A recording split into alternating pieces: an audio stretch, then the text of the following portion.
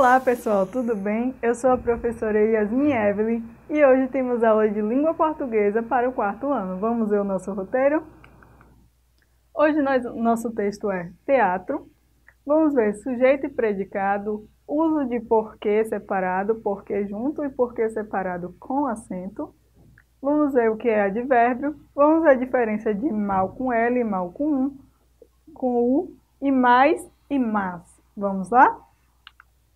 Vamos começar com o nosso texto, que hoje é teatro. O título do nosso texto é Os Escarpãs da Princesa.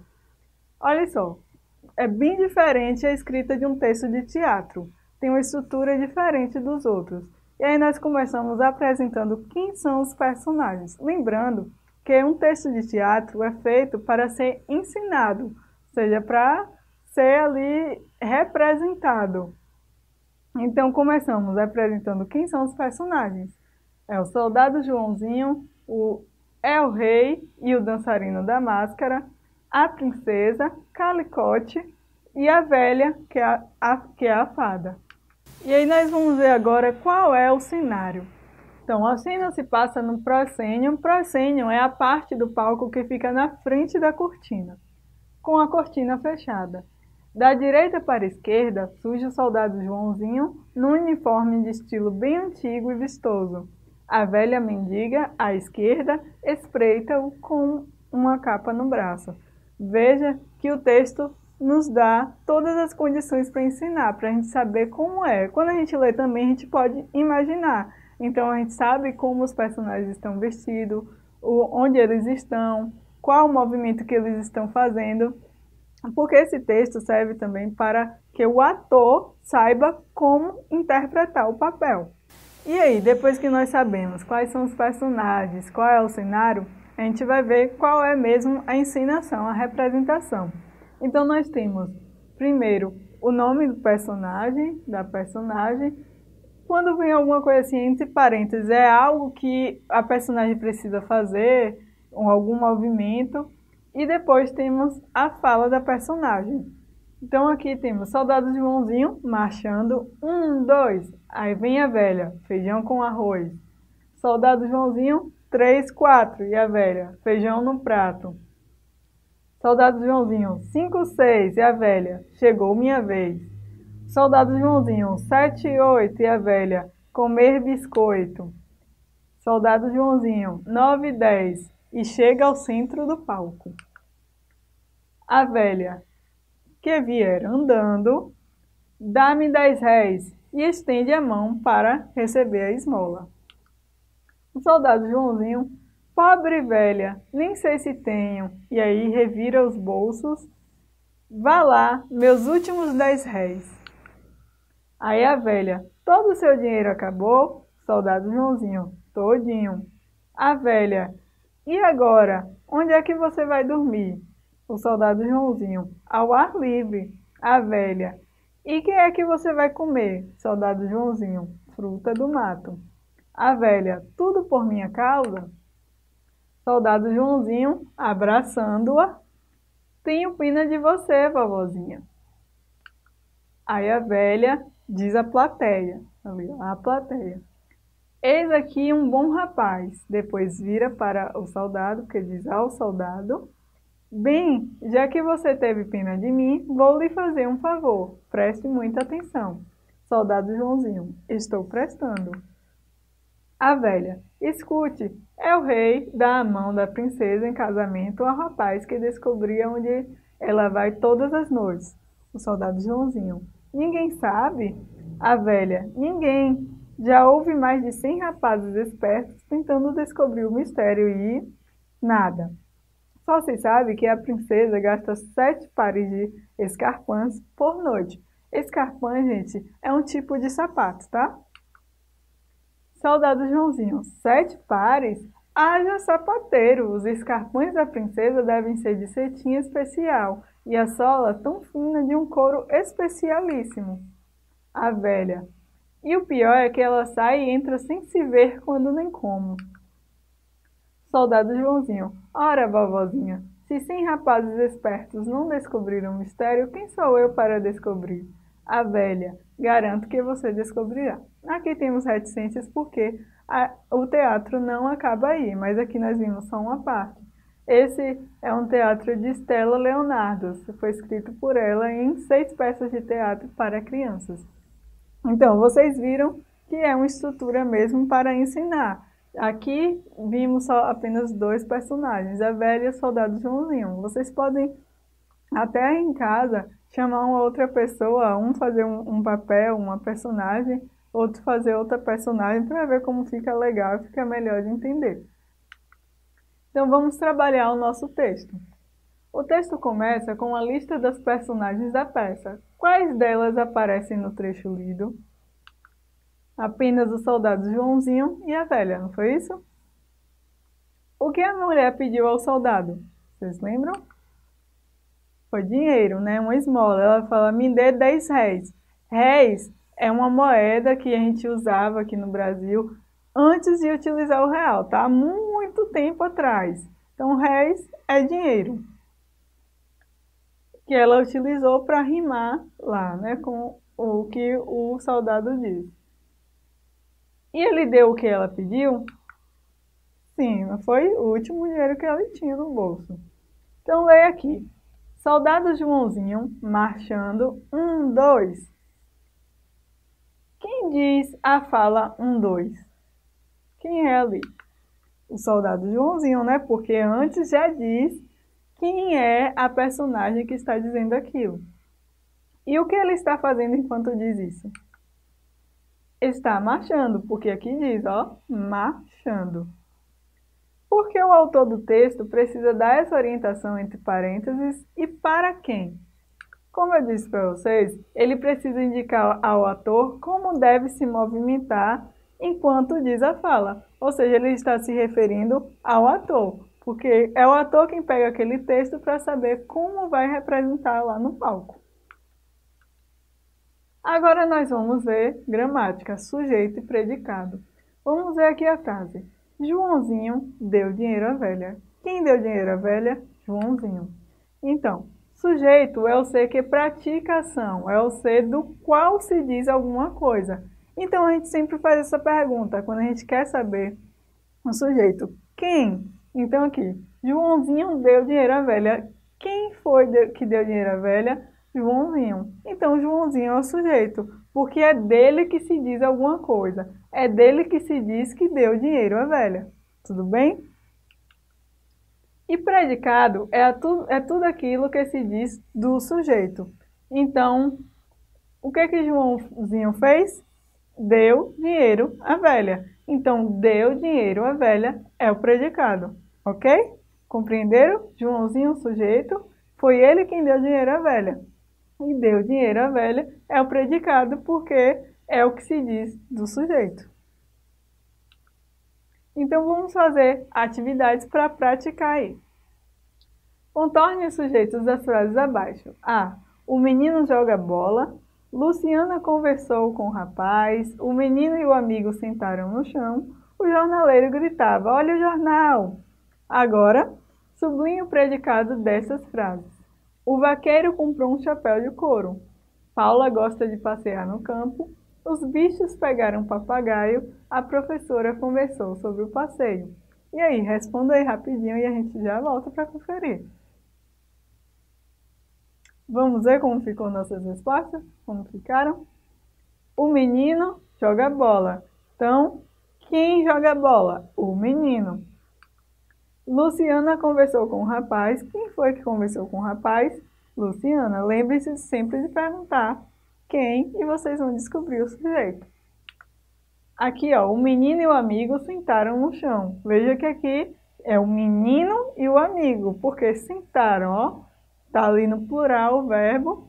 Então, quem foi que sentou? O menino e o amigo. O jornaleiro gritava, olha o jornal. Então, quem aqui gritava? O jornaleiro. E ali, sublinhar os predicados. Então, o vaqueiro comprou um chapéu de couro. Então, comprou um chapéu de couro é o predicado porque é o que se diz do sujeito. Paula gosta de passear no campo. Separamos o sujeito que é Paula e o que sobra é o predicado porque é o que se diz do sujeito. Os bichos pegaram um papagaio. A professora conversou sobre o passeio. Acertaram aí? Espero que sim. Continue treinando, tá bom? Agora nós vamos ver o uso dos porquês.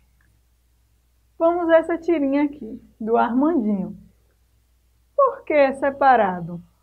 Porque não é junto. Mas por quê? O porquê eu não sei. Viram?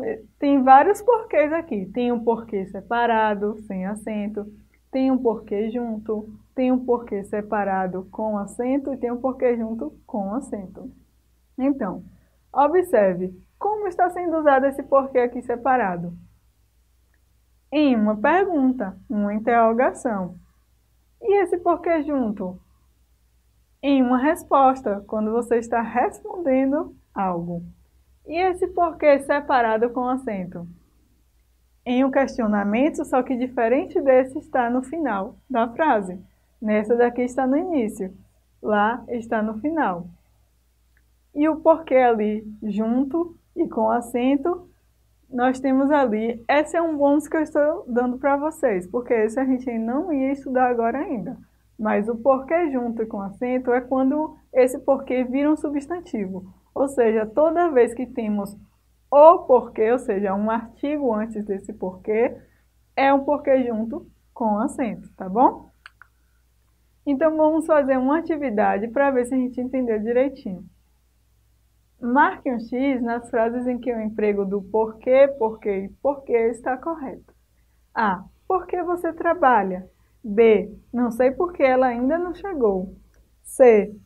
Você nos chamou por quê? D. Não gosto de café amargo porque é ruim. E. Por que estamos juntos? Então façam aí rapidinho e a gente já confere. Vamos conferir? Então, não sei por que ela ainda não chegou. Você nos chamou por quê? E por que estamos juntos? Então, nessas três frases, o porquê está utilizado de forma correta. Vamos ver. Aqui, não sei por que ela ainda não chegou. Aí você me diz, mas por que está separado se não tem uma interrogação no final? Veja que a frase tem um som de dúvida, então é uma interrogação de forma indireta. Você nos chamou por quê? O porquê está em uma pergunta, então é separado, e está no final da frase, ao final da frase, então ele deve ser acentuado. E aqui, porque estamos juntos, está em uma interrogação, então é separado. E está no início da frase, então não é acentuado, ok? Agora vamos ver advérbio. Temos aqui as frases. O menino falava baixo, sempre dou agasalhos. O menino falava muito baixo e o bebê era muito bonitinho. Então, baixo é o modo como o menino falava. Sempre é o tempo, a frequência que eu dou agasalhos. O menino falava muito baixo. Então temos advérbio aqui, advérbio aqui e aqui muito baixo. Temos dois advérbios, o advérbio muito de intensidade e o baixo de modo, que é o modo como o menino fala. E o bebê era muito bonitinho. Temos um advérbio e um adjetivo. Então, advérbio é a palavra que modifica o sentido de um verbo, de um adjetivo ou de outro advérbio, como vimos. Aqui o advérbio está mudando o sentido do verbo. Aqui temos dois advérbios, então um advérbio mudando o sentido do outro advérbio, porque baixo é um advérbio, mas ele não falava só baixo, ele falava muito baixo, está dando intensidade a isso. E aqui temos adjetivo e advérbio. Então, esse advérbio está mudando esse adjetivo. Porque não é só bonitinho, é muito bonitinho. Aí nós temos esses tipos de advérbio. Advérbio de lugar, de tempo, de intensidade, de modo, de afirmação, de dúvida e de negação. E aqui temos vários exemplos que vocês podem pausar o vídeo e anotar aí. Por exemplo, de lugar, aqui, ali, acolá, lá, além, acima, abaixo, de tempo. Hoje, ontem, como vimos lá na frase, sempre, tarde, nunca, agora. De intensidade, como vimos lá nas frases, muito, pouco, bastante, demais, de modo. Vimos lá que o menino falava baixo. Baixo é o modo como o menino falava. Então, bem, mal, assim, depressa. Por exemplo, o menino anda depressa, é o modo como o menino anda. E quase todos os, os advérbios terminados em mente. Não são todos, mas são quase todos. Então, por exemplo, o menino anda vagarosamente. Isso é um modo. De advérbio de afirmação. Sim, certamente, realmente, aquilo que está, aqueles advérbios que confirmam algo. De dúvida, talvez, provavelmente, porventura, caso eu vá, tem aí uma dúvida, não é? Então, caso é um advérbio de dúvida. E advérbio de negação? Não, tampouco, que significa também não. Ah, eu não vou à festa hoje, eu tampouco. Ou seja, eu também não. E agora vamos ver a diferença de mal com L, mal com U, e mais e mas. Então veja aqui essa frase. Carolina desfila mal. E essa? Que homem mal. Como é que eu sei quando eu vou usar mal com L e mal com U? Veja, Carolina desfila mal. Se eu colocar o contrário de mal aqui, eu vou dizer Carolina desfila bem. Já aqui, que homem mau. Se eu vou, for colocar o contrário disso, vou falar que homem bom e não que homem bem. Então, mal com L é o contrário de bem e mal com U é o contrário de bom. Então, vocês, para saber, tentem sempre substituir. Bom, aqui eu posso substituir por bem, então é mal com L. Aqui eu posso trocar por bom, então é mal com U. Agora vamos ver essas duas frases.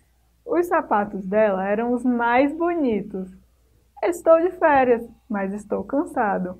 Bom, aqui o mais, quando tem o i, ele significa quantidade.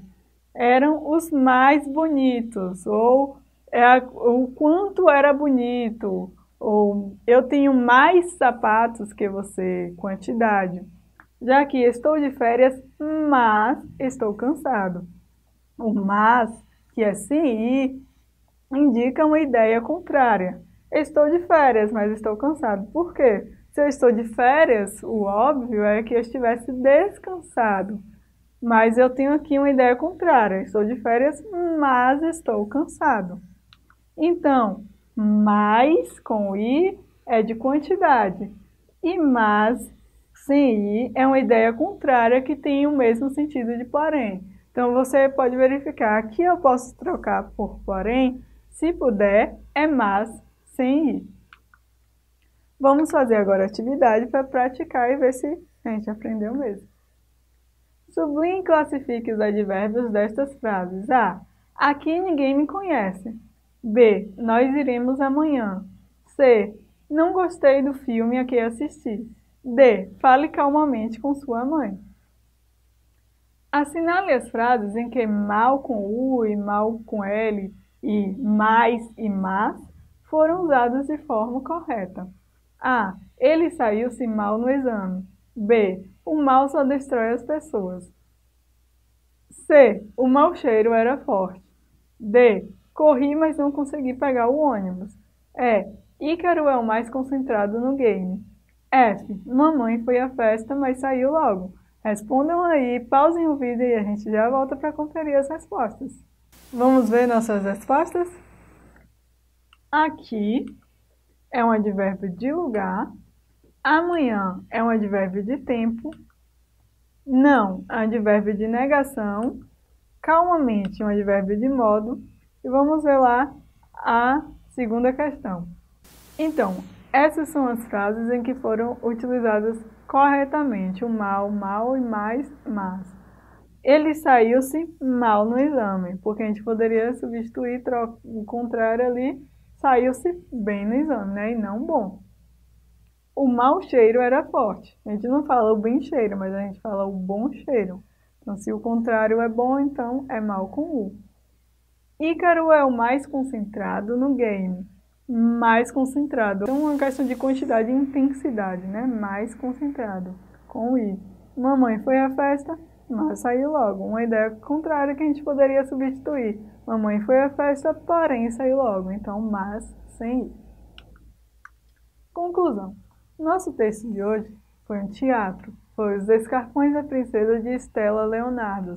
Nós vimos que um, um texto de teatro tem uma estrutura diferente, porque ele é feito para que o ator saiba como ensinar, como representar aquela personagem. Então, primeiro nós temos a lista de personagens, depois tem qual é o cenário que a pessoa vai fazer, e vimos que a cada fala do personagem vem o nome da personagem, vem entre parênteses muitas vezes alguma coisa que ele precisa fazer, algum movimento, se precisa marchar, se precisa olhar para a plateia, para quem vai olhar, e depois vem a fala. Então é um texto direcionado para atores, mas que a gente também pode ler e compreender. Inclusive podemos produzir um, uma peça de teatro pequena e representar em nossa casa. Vimos sujeito e predicado. Sujeito é aquele de quem se diz alguma coisa, o predicado é o que se diz do sujeito. Vimos o uso dos porquês, vimos que porquê separado sem acento vem uma interrogação no início ou meio da frase. O porquê junto sem acento é para responder algo. E o porquê separado com acento é para interrogações, mas que vem ao final da frase. Vimos advérbio, que é aquela palavra que modifica um verbo, um advérbio, um adjetivo. Existe o advérbio de lugar, de tempo, de intensidade, de modo, de afirmação, de dúvida e de negação. E vocês podem anotar aí o, aqui da aula, podem buscar mais, podem treinar aí até que você tenha na memória todos esses advérbios e de que tipo eles são. Mas não é difícil de saber, porque por exemplo, de lugar, estou indicando lugar, ali, acolá. De tempo, indica um tempo, hoje, nunca, agora.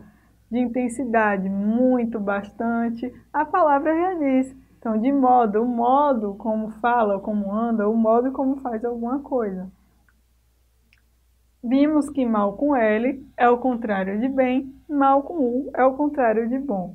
Mais com I indica quantidade, uma intensidade, e mais sem I, uma ideia contrária que pode ser substituído por porém. Toda a nossa aulinha está baseada coleção, na coleção Eu Gosto Mais, da editora IBEP. Espero que vocês tenham gostado, tenham aprendido bastante. Tchau, tchau!